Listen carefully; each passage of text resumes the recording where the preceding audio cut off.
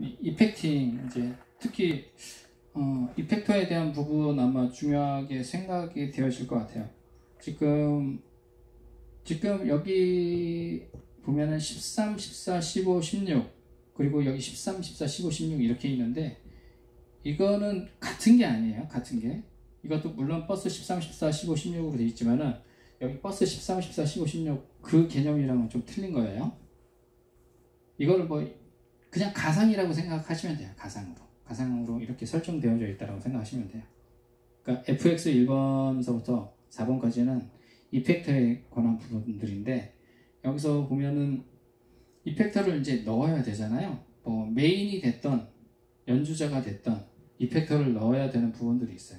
뭐 예를 들어 여기 홈 버튼에 대한 부분 아까 했고 이건 미터는 어, leveling이 어느 정도 뜨는지 보여주는 부분이고 routing 신경 안 쓰셔도 돼요. 네. setup setup은 이따가 조금 간결하게 그냥 간 그러니까는 굳이 뭐 어느 정도 좀 알고 있어야 되는 부분들만 알려드릴게요. 네.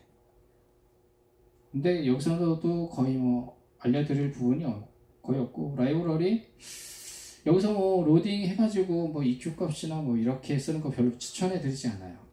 네.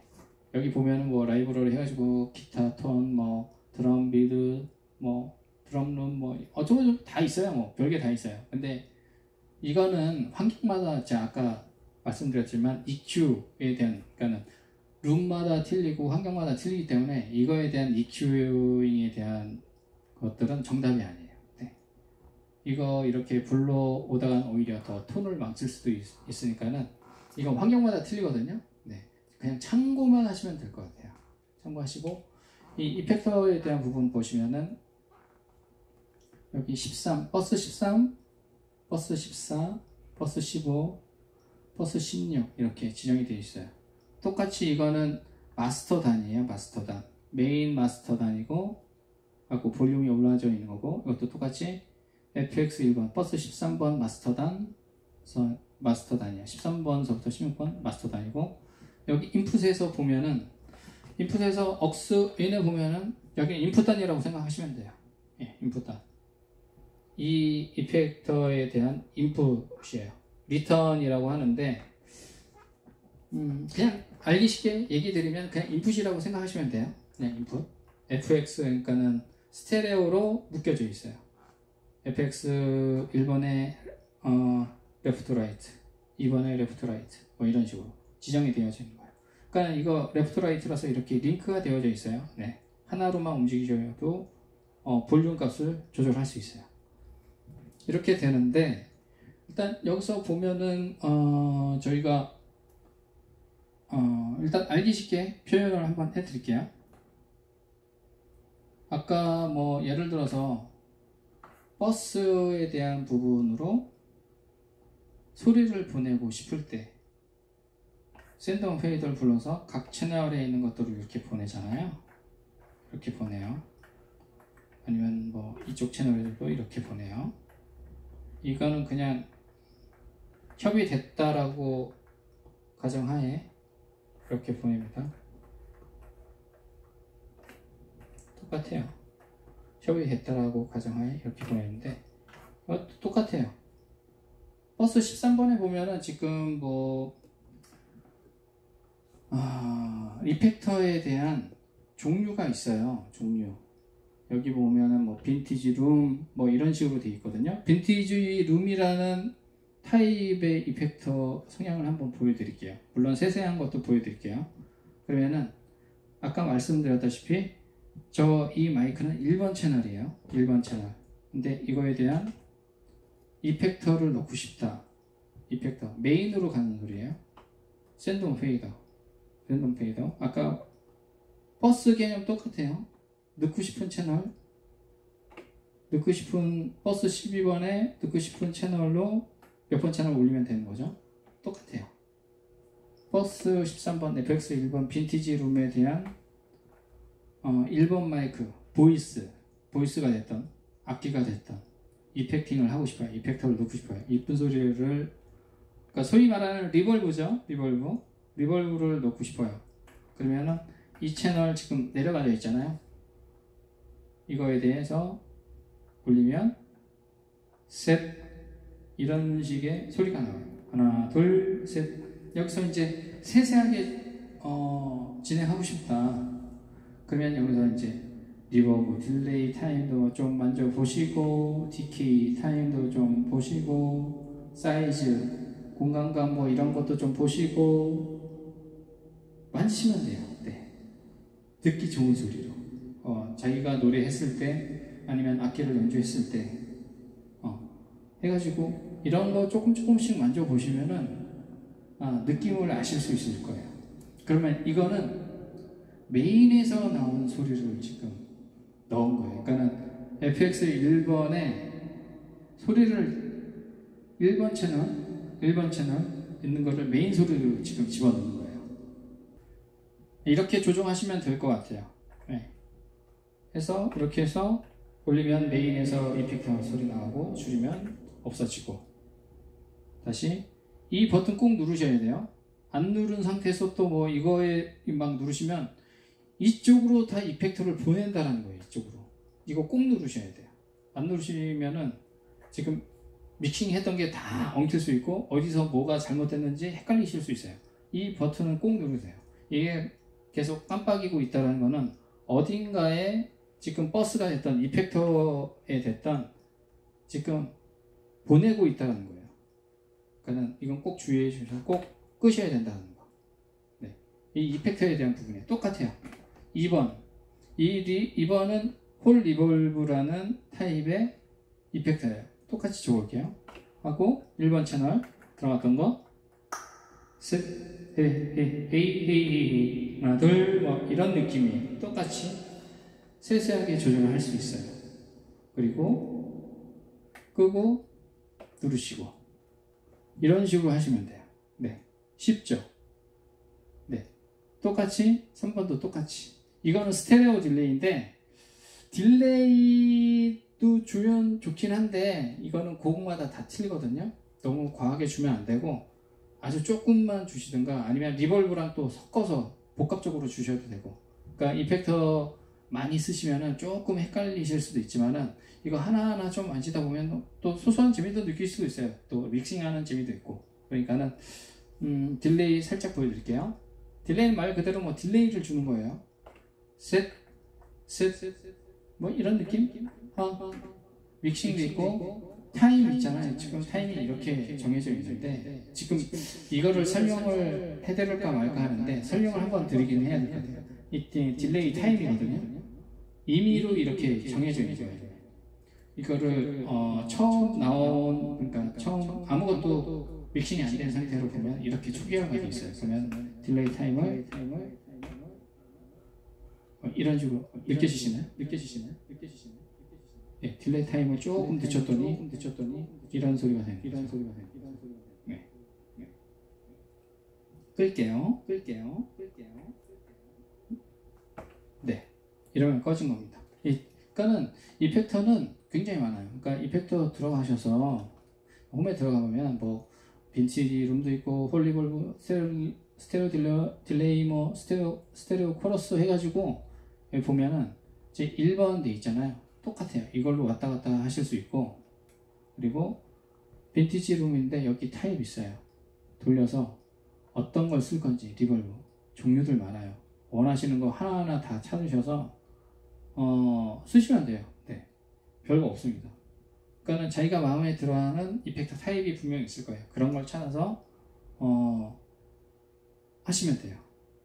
네. 이렇게 찾아서 쓰시면 되고 13번서부터 16번까지 되어 있고 이왕 여기까지 온 김에 이펙터에서 어, 여기 보면은 음, 오프라고 되어져 있는데 지금 여기 그래픽 EQ라고 있어요. 그래픽 EQ는 뭐냐면은 말 그대로 EQ 그러니까는 EQ라고 해가지고 우리 parametric EQ 생각하시면 안 돼요. 이거는 전체적인 음원을 보정하는 거예요. 뭐 소위 잘 모르시는 분들은 이걸로 뭐 음색을 조정한다. 전체적인 뭐 어, 그거 맞는 얘기긴 해요. 그러니까는 스피커 튜닝을 할 때나 뭐 그럴 때 꼭 필요한 부분들인데 이걸로 뭐 소위 말하는 스피커를 뭐 튜닝을 해가지고 뭐 저역대를 뭐 막 소위 약간 옛날 어르신 분들 갈매기 모양 만들어 가지고 이런 식으로 만드는 게 아니고 이거는 저희 하울링 할 때 하울링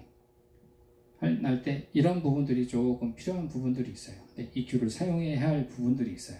그래서 제가 잠깐만 설명을 드린다고 하면은 이펙터는 지금 이펙터 버튼에서 뭐 이런 식으로 지정이 돼 있어요. 그러면은 예를 들어서 stereo graphic EQ가 있어요. 그러면은 스테레오 그래픽 EQ는 메인 메인에 대한 메인 레프트 라이트 스피커를 이쪽으로 지정을 해줘요. 그러니까 LR 스피커를 지정을 해줘서 이쪽 스피커에 대한 조금 튀는 대역이나 모자른 부분의 대역들은 이걸로 조정하는데 어떻게 하느냐 여기 보면은 off라고 적혀 있어요. off. 예. 그러니까 예를 들어서 이런 식으로 8번에 지정되어 있는데 insert를 시켜야 돼요. insert를. 그러니까 보면은 인서트를 스테레오 그래픽 EQ니까 저는 스테레오니까 main stereo 스피커를 생각해서 어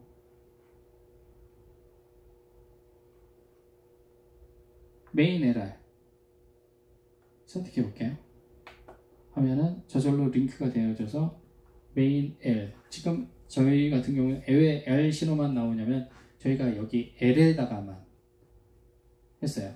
스테레오로 이렇게 설치한 게 아니고 L에다가만 설치했기 때문에 지금 L 신호만 들어오는 거예요. 그리고 중요한 거는 이거를 insert를 해야 되겠죠? insert를 넣어요. 그러면 이게 이제 활성화가 되는 거예요. 네. 대충 어, 어느 정도 감이 오시죠? 그러니까 지금 main LR, main LR에 대한 어, 스피커에 대한 스피커에 대한 EQ, 그러니까 graphic EQ를 좀 만져야 될 보정해야 할 부분이 있다 라고 하면 이렇게 설정을 하시고 여기 이제 들어가려고 하면 그러면 여기 edit 이 버튼 select 버튼 누르시면 돼요. 그러면 이쪽으로 넘어가게 되어 있는데 여기서 보면은 여기 이제 각 메뉴들이 있어요. 근데 각 메뉴들 이제 각 보정하려고 하는 이 주파수들을 조정, 그러니까 fader를 내려야 되잖아요. 이 디지털 콘솔이기 때문에 아마 이 하단으로 나타내는데 여기 보면 GQ는 fader, fader로 나타내는 거예요. fader 위로 GQ가 이제 나타나는 겁니다. 한번 눌러볼게요. 누르면은 여기 보면은 뭐 해가지고 20Hz, 25Hz, 31Hz 이 표시만큼 나오는 거예요. 지금 여기가. 그리고 음, 이거를 돌려볼게요. 돌리면은 25에서부터 뭐 지금 돌려보니까 500에서부터 200, 어, 2.5kHz까지 500에서 2.5Hz까지 예를 들어서 나 이쪽 대역을 좀 깎고 싶다 800Hz 그러면 저절로 이쪽 화면에 보, 이는이 페이더 내린 값이 이쪽으로 내려갔다는 게 보이시죠? 똑같아요. 아니면 뭐그 후에 대역이 더 튀는 것 같다. 2kg 대역이 좀 튀는 것 같다. 내리시고 뭐 순간적으로 잘못 판단돼 있을 수도 있어요. 정확한 근거라는 건 없으니까 수치라는 건 없어요. 귀를 뭐 믿고 하시는 방법밖에 없는데 그게 아니다라고 하면 다시 이 mute 버튼 누르시면 다시 원 상태로 돼요. mute 버튼 내렸던 거를 다시 mute 버튼 누르면 다시 flat한 상태가 돼요. 네. 이런 부분 보셔서 이렇게 조절하시면 돼요. 똑같이 내리시고 뭐 내리시고 아니다 그러면 다시 올리시고 그러면 다시 GEQ on fader 버튼을 끄면은 원래대로 돌아오고요. 네. 쉽죠? 뭐 이런 식으로 되고요. 다시 FX 홈으로 한번 돌아가 볼게요.